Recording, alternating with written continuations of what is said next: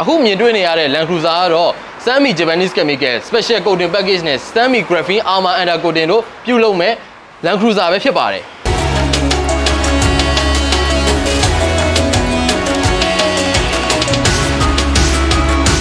ကဲဒါကတော့ Land Cruiser ရဲ့ Stanley Graphene Armor Under Coating တင်တဲ့နေရမြဖြစ်ပါတယ်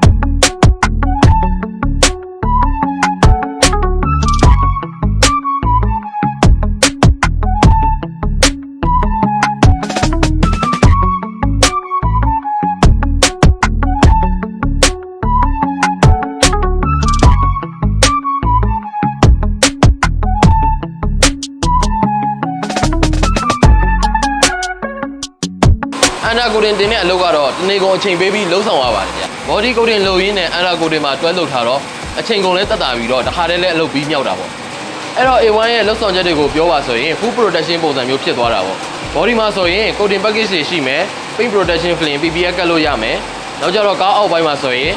graphene armor under coating ပြုလုပ်လို့ရမယ်။ smart film တွေရှိမယ်။နောက်ပြီးကြတော့ window coating ဒါမှမဟုတ် leather coating ကိုလည်းတည်တံ့လုပ်လို့ရပါတယ်။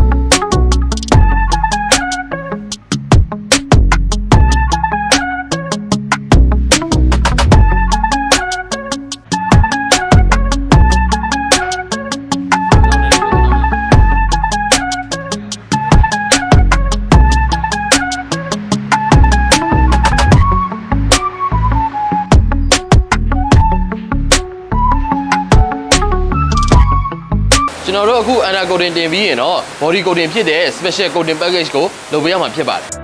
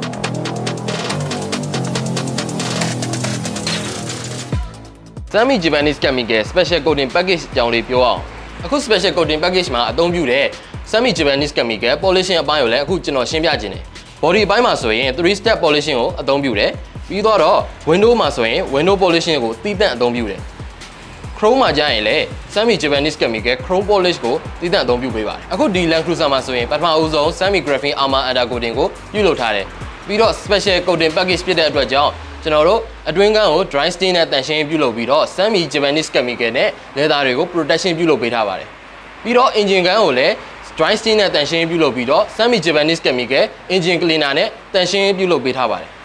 A1D လေးလင်းက special coating package မှာ coating layer တိုင်းကို 30ml ပလင်းအပြည့်တင်ပေးခြင်းဖြစ်ပါတယ်။ coating တင်တဲ့ဟဲ့ဆိုရင်1 layer တည်းနဲ့ပြီးသွားတာများကြတယ်။ကျွန်တော်တို့ A1D လေးမှာကြတော့ international professional use special coating package မှာဆိုရင်တော့ 5 layer ကိုအပြည့်တင်ပေးတာဖြစ်ပါတယ်။ဒါကိုနားလည်အောင်ရှင်းပြရမယ်ဆိုရင်အခု Land Cruiser မှာသုံးထားတဲ့အတိုင်း Power White Special 30ml base coat 2လုံး Services Germany